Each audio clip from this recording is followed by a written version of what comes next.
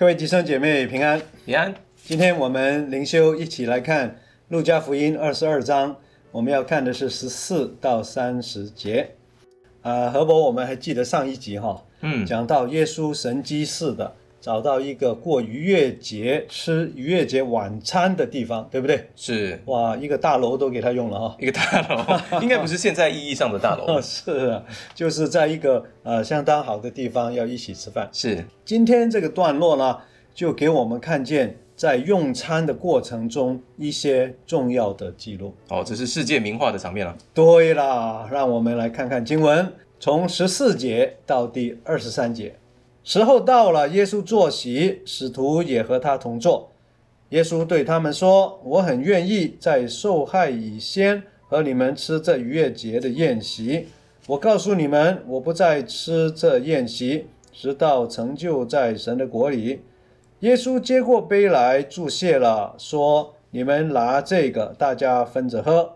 我告诉你们，从今以后，我不再喝这葡萄汁，只等神的国来到。”又拿起饼来，注谢了，就掰开，递给他们，说：“这是我的身体，为你们舍的，你们也应当如此行，为的是纪念我。”饭后也照样拿起杯来说：“这杯是用我血所立的新约，是为你们流出来的。看啊，那卖我之人的手与我一同在桌子上。人子固然要照所预定的去世。”但卖人子的有祸了，他们就彼此对问，是哪一个要做这事？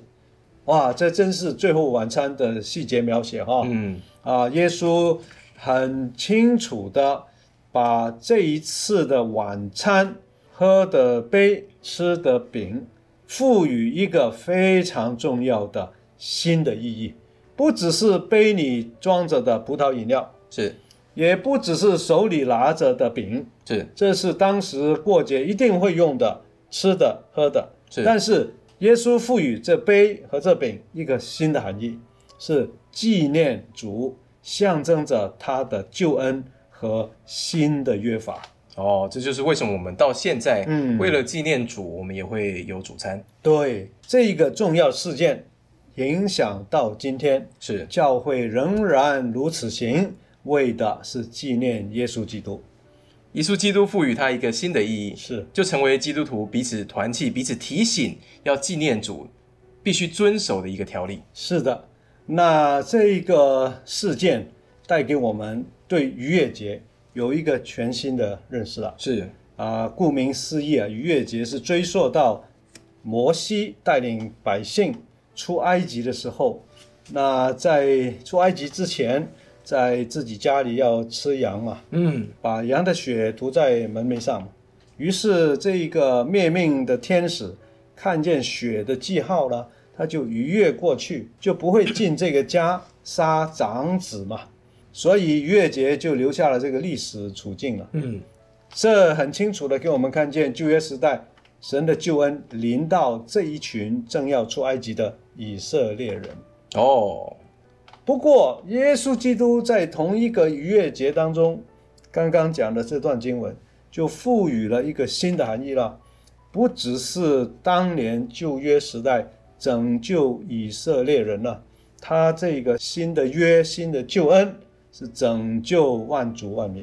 所以我们也许也可以说，当时的逾越节，摩西他们所过的逾越节所设立的这个节日，是对未来基督的救赎的一种预表喽。是，也可以这样说了哈。那就在这个守节的过程之中，后面的经文呢，却出现了一个反高潮。是啊，怎么突然在这么呃温馨并且有一点哀伤的情况下，门徒竟然讨论起了谁当老大？是啊，这群门徒真的是很多时候搞不清楚重点，搞不清楚就像我们一样，我们常常也搞不清楚重点。二十四节以后讲到门徒起了争论，讨论他们中间的哪一个可以算为大。耶稣基督给的教导是，要为大的人是要服侍人的。是的，牧师，我一直想问一个问题啊，既然我们在教会常说为大的是要服侍人的，或者是要为头的是要做仆人的，嗯，那基督徒呢，在面对生活当中一些呃伟大的事迹啊、伟大的人啊，我们可以向往这种伟大的事情吗？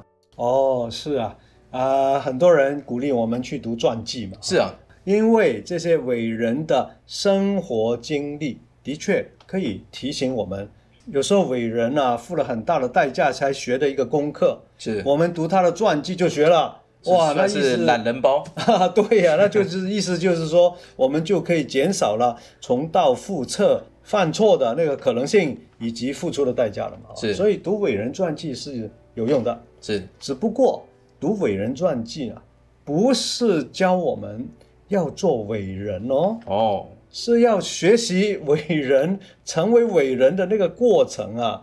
那什么叫做伟人呢？其实伟人能够成为伟人，必定有一些重要的生命素质的。嗯哼，这个生命素质正是提醒我们的。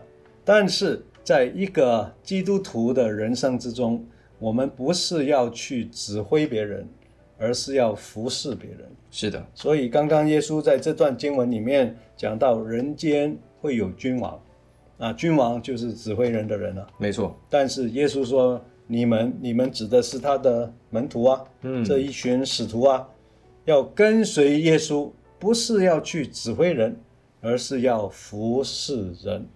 只有这样，耶稣基督的恩典才能够借着服侍人而流到人群之中。哦，这样牧师我了解了。当我们在鼓励一些年轻的基督徒，或者他在事业上有野心的基督徒的时候，首先要紧的应该是你的人生，基督徒的人生是学着向主，是一个服侍人的人生。是的，就算我们在世界上真的是在某个领域的领袖，是，我们做领袖的时候，也是带着仆人的心态，意思就是不是高高在上，而是因基督的缘故，我们愿意服侍众人，用服侍众人的态度来领导，这就是所谓的仆人领导嘛。原来如此。是的，求主安待啊！这段经文给我们看见了，不止更清楚设立主餐的背景和神学的意义，更是在我们的人生操练之中，既然领受主餐，嗯就学习做众人的仆人。愿主带领今天的生活，使我们成为一个仆人领袖。神祝福你，平安。平安。